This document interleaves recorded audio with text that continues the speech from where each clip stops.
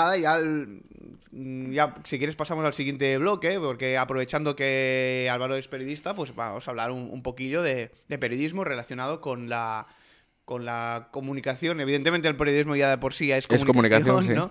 Pero bueno, ligado un poco a la era digital que vivimos. Precisamente estás, me comentabas, en la sección digital del Diario de Tarragona.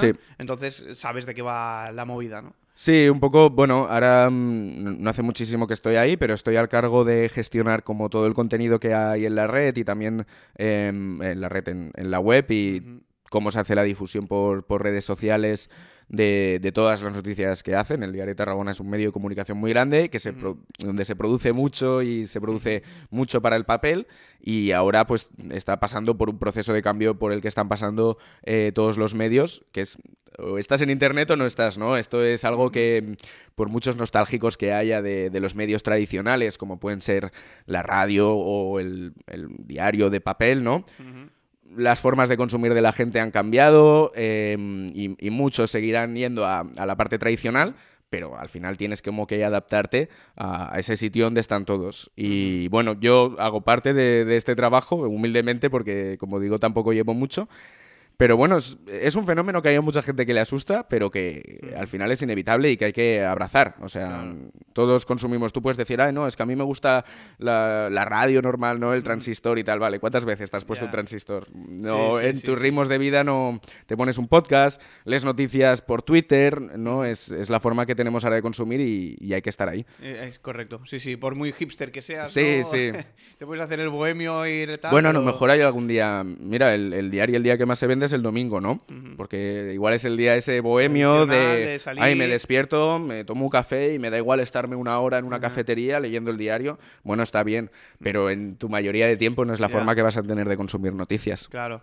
Y ya que hemos sacado el tema, ¿cómo lo ves? ¿Va a morir al final la edición en papel de los, de los periódicos? Mira, esto es algo que, mm, se ha pronosticado mucho, ¿no? Em, también eh, lo mismo con la radio, con la televisión.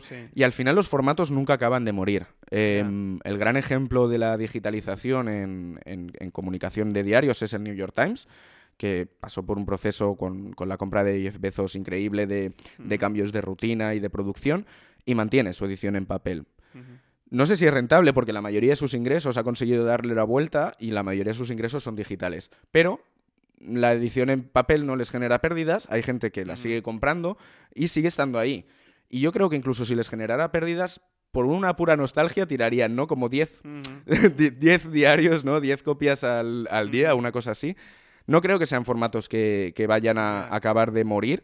Puede ser eh, como, el, por ejemplo, el fenómeno del vinilo, ¿no? Un poco, de que ese rollo nostálgico más coleccionista o más exclusivo, incluso que valga más cara la edición en papel porque sea Puede ser, sí. no sé, para darle la vuelta, porque yo entiendo eso que en la era digital realmente si te compras un periódico es por pura nostalgia porque práctico no es, ¿no? Sí, un poco con lo, que te digo, ¿no? Pues ese de, joder, voy a dedicarle el día, ¿no? Que tengo una mañana libre a leer el periódico, me apetece leer papel hay mucha gente y a la mayoría de gente prefiere leer en papel no que leer en el móvil. El problema es que no tenemos tiempo. Claro, eh, Pero si un día quieres, pues lo tienes. Entonces yo creo que son los formatos clásicos, al final nunca van a morir del todo porque siempre acaban encontrando una, una, salida en algún sitio.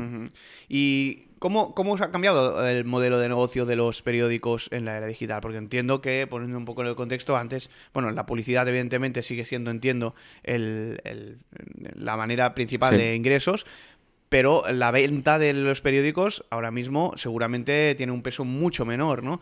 Desde hace unos pocos años atrás ya vemos que hay los principales periódicos digitales eh, piden una suscripción pagada. Creo que no es el caso del diario. No, no es el caso del diario aún, pero sí que es verdad que cada vez como que se, vuelcan más esfuerzos al, digital. Y es, como estamos diciendo todo el rato, pues un, cambio de mentalidad.